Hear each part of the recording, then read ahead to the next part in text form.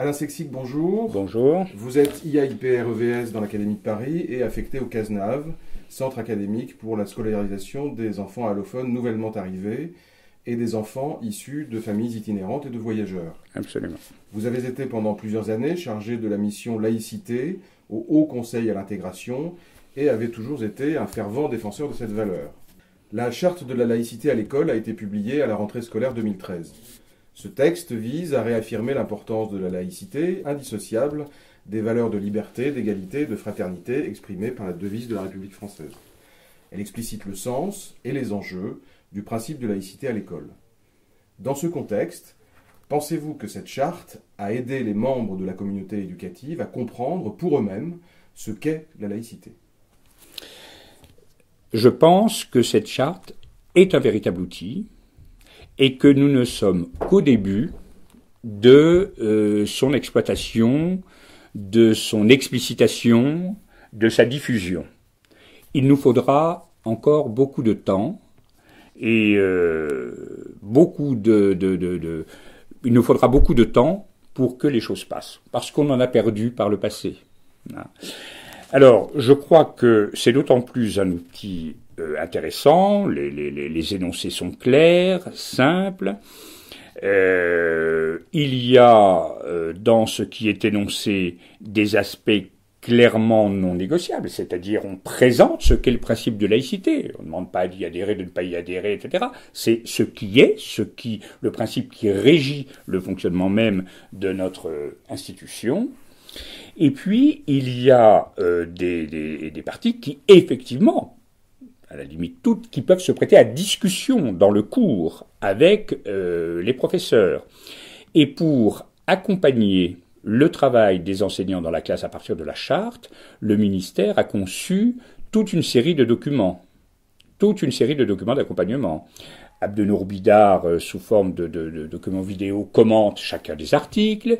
Il y a des, textes qui peuvent être euh, euh, tirés, diffusés au, sein des classes, qui reprennent les, chacun des articles, qui reprennent les mots-clés de la charte de la laïcité. Tout cela, ce sont des, on ne s'est pas contenté de demander aux chefs d'établissement, aux enseignants d'afficher la charte euh, dans, dans, dans, leur école, dans leur collège, dans leur lycée, mais on, on a prévu au ministère toute une série de documents d'accompagnement. Et c'est là qu'il faut puiser pour euh, organiser la présentation et le cas échéant la discussion autour des articles j'introduis tout de suite une nuance. Il ne s'agit pas non plus en classe de passer son temps à parler de la charte de la laïcité, parce que ça, peut être des, débats euh, inépuisables. Hein. Il s'agit de la présenter en début d'année, de l'expliciter, d'y revenir en, tant que de besoin dans, dans le courant de l'année si nécessaire. Mais les documents sont là et je crois que c'est une bonne chose. Encore une fois, cela doit s'accompagner d'un travail de réflexion sur le long terme dans notre institution. Euh, personne ne peut imaginer que l'avènement de la charte euh, a pu régler ou peut régler aujourd'hui euh, tous les problèmes attenants ou tous les questionnements attenants à l'application du principe de laïcité à l'école. Hein. Il y aura un travail, il y a un travail de formation aussi à prévoir des enseignants. Nous nous y attelons, que ce soit dans l'Académie de Paris, dans toutes les académies et nationalement, nous nous y attelons. C'est une question, je vous l'ai dit, dont nous ne parlions plus lorsque j'ai euh, commencé euh, dans la carrière, au début des années 70, mais c'était une question qui était au cœur de la formation des, des, enseignants. Nous ne parlons même pas des hussards de la République, mais jusque dans les années 50, ça faisait partie, c'était dans, le, corps même de la, formation des enseignants, philosophie de la laïcité, euh, etc. Puis on l'a abandonné petit à petit. On l'a abandonné. Voilà, c'est devenu, on considérait que c'était derrière nous, que c'était obsolète. Ben, c'est des questions qui doivent être reprises aujourd'hui. C'est le cas. C'est le cas dans la formation. De la même manière, c'est un travail que personnellement j'avais bien suivi aussi en 2001-2002 au ministère auprès de Jack Lang, de la même manière que l'enseignement laïque des faits religieux, à partir du rapport de Régis Debray, doit aussi faire l'objet de sessions de formation, et c'est le cas aujourd'hui, euh, depuis quelques années, dans notre institution. Alors, petit, petit petite incise d'actualité. Quel lien, du coup, peut-on faire entre la charte de la laïcité à l'école telle qu'elle existe aujourd'hui et l'enseignement moral et civique qui est au programme depuis la rentrée 2015 alors, je, crois que le lien s'impose de lui-même. Il est, manifeste, il est évident. Euh, non pas que euh, l'enseignement moral et civique se résume à lui seul, puisse se résumer à lui seul à l'appréhension du principe de laïcité dans notre institution, mais évidemment, euh, la perception, l'appréhension du principe de laïcité, sa diffusion, sa connaissance, fait partie intrinsèquement parlant de l'enseignement moral et civique. Donc là aussi, nous avons prévu euh, nationalement un certain nombre de, formations de manière interdisciplinaire, euh, des professeurs de, toutes disciplines, et y compris d'ailleurs dans le, premier degré. Euh, il me semble que les, les passerelles à partir de l'étude de texte, à partir de, de, de l'étude de période historique, de situations précises, etc., y compris dans des domaines comme l'histoire de l'art et autres, peuvent tout à fait correspondre à euh, l'esprit et à la lettre de l'enseignement moral et civique aujourd'hui. D'accord. Autre question d'actualité. Euh, cette année, les parents ont été invités à signer avec le règlement intérieur des établissements mmh. euh, le fait qu'ils avaient pris connaissance de la charte de la laïcité. sur le terrain, comment les choses se sont-elles passées? Alors, moi je suis dans, comme vous l'avez euh, annoncé au début, dans l'Académie de Paris. Euh, je n'ai pas eu connaissance de situations euh, très problématiques dans nos établissements. Mais je sais que ça a pu se produire par endroits. y compris la presse s'en est fait l'écho. Par endroits, des, parents se sont montrés réticents et même hostiles au fait de signer cette charte. Et je crois que c'est d'abord dû à une mauvaise présentation des choses. Je l'ai un peu indiqué tout à l'heure, mais euh, ça n'est pas un bulletin d'adhésion que tend l'école aux parents d'élèves. On ne demande pas d'adhérer à telle ou telle euh, philosophie. Il s'agit de demander aux parents d'élèves d'indiquer qu'ils ont pris connaissance des principes qui régissent notre institution, notre école dans la République.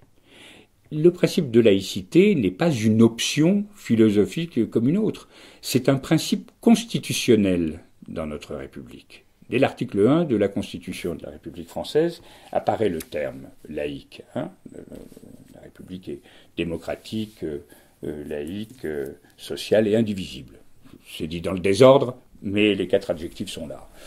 Euh, je crois donc qu'il euh, y a aussi un effort et, une rigueur à s'appliquer euh, à nous-mêmes dans la présentation des choses.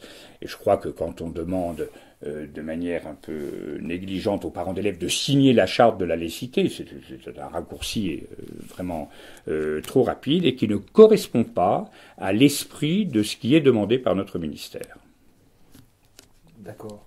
Euh, quelles explications, dans ce cadre-là, ont pu être euh, données par les chefs d'établissement et que peut-on, euh, sur quoi peut-on insister, en particulier pour eux, mais aussi pour les personnels d'inspection, dans la présentation de, cette thématique-là?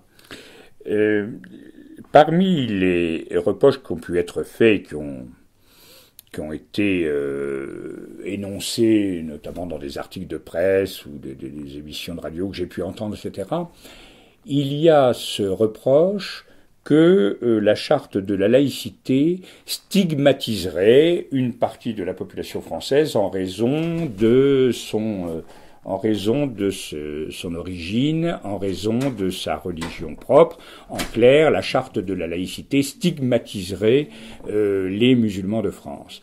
Je crois qu'il faut s'insurger euh, avec la dernière énergie contre ce type d'appréciation, parce que en aucun cas la charte ne vise telle ou telle partie de la population française, en aucun cas elle ne fait référence à telle ou telle religion, la charte de la laïcité a valeur générale.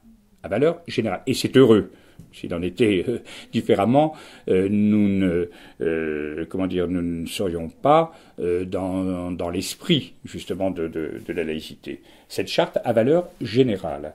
il me semble que ça doit d'abord être présenté comme cela, comme un bénéfice qui doit profiter à chacun dans l'école, qui est traité à égalité. Hein, euh, chacun est traité à égalité par, rapport aux autres. Donc la notion d'égalité, le principe d'égalité revient souvent dans l'énoncé des articles de euh, la charte de la laïcité. Les, euh, comment dire, les grands principes qui régissent notre République, notre, la devise républicaine, liberté, égalité, fraternité, est déclinée dans cette charte. On revient évidemment sur les fondements de, de la laïcité, séparation des églises et de l'État. C'est des choses qu'on peut reprendre dans les cours, qu'on peut apprendre, etc. Non, il me semble que, euh, comment dire, c'est encore une fois un outil formidable qu'il faudra euh, prendre le temps pour euh, l'ensemble des personnels de notre institution d'appréhender, d'apprivoiser et euh, d'expliciter en tant que de besoin aux élèves. Mais je pense qu'avec nous avions besoin d'un outil de ce type. Il ne règle pas tout, mais c'est une base essentielle, je crois. Le fait qu'elle soit présente dans l'ensemble des établissements donne aussi un caractère d'unité euh, à notre institution. Et unité, encore une fois, ne signifie pas uniformité. Hein. Il ne s'agit pas de, de, conformer chacun à un modèle de, de, pensée unique, absolument pas.